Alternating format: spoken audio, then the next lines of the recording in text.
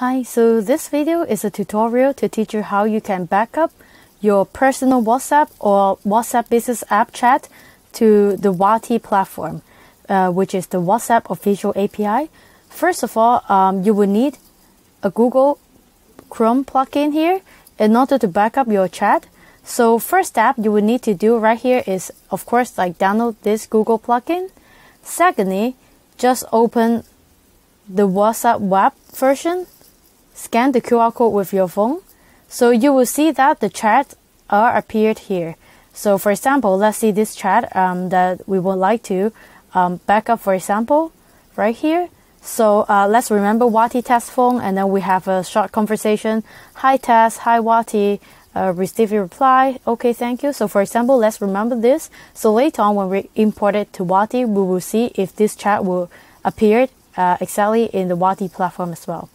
Okay, so once we log into the WhatsApp web, let's click this one and just download WhatsApp chats. So just for your information, you can download the media as well.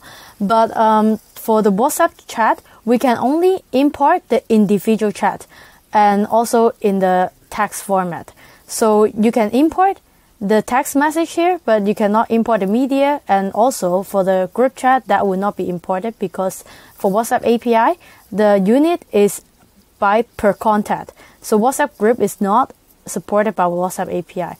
Just for your information, um, like for um, for your expectations about the chat import. So okay, once we have the zip file here, good, just keep it here. Next thing is we will go to your own Wati.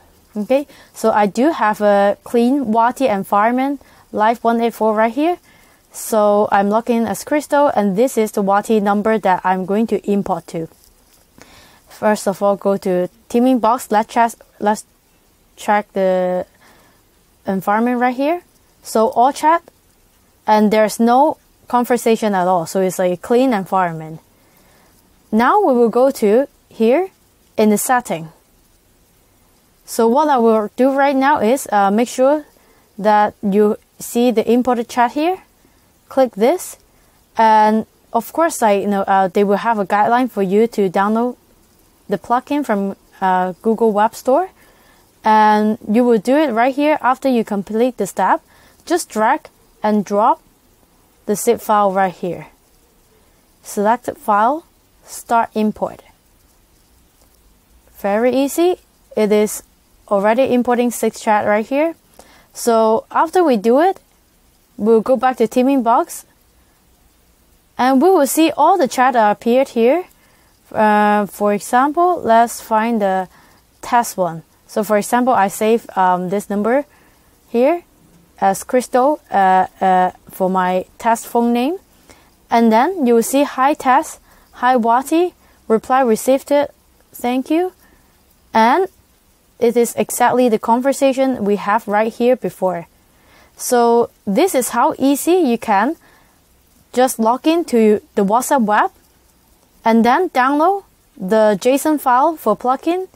And with the zip file, you can just easily drag and drop to the import message one and all your past conversation will be show up here. So if you're migrating your existing number to Wati, you do not need to worry if you lost the past conversation uh, with your customer uh, or like you know your client anymore. So I hope this video will be useful for you and also it will provide you a seamless experience in transiting transitioning from your phone to the Wati platform. Thank you very much.